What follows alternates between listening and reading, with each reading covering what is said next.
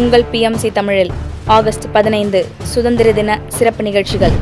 காலை பத்து முப்பது மணிக்கு நாராயணசுவாமி அவர்களின் பெண் சுதந்திரம் பற்றிய தலைப்பில் நம்முடன் உரையாட உள்ளார். சுதந்திரம் சுதந்திரம் சுதந்திரம்னு சொல்கிறோமோ தவிர இந்த சுதந்திரம் எல்லாத்துக்குமே இருக்குது காலை பதினோரு மணிக்கு திருமதி உமாராணி அவர்களின் குக் வித் புத்தா நம் நாவில் சுவையூட்ட வரும் சாத்விக சைவ சமையல் நிகழ்ச்சி. அனைவருக்கும் வணக்கம். என் பேர் உமாராணி. இன்னைக்கு வந்து பெங்கன் பாத். எப்படி பண்ணணும்னு நான் உங்களுக்காக ஷேர் பண்ணிக்கிறேன்.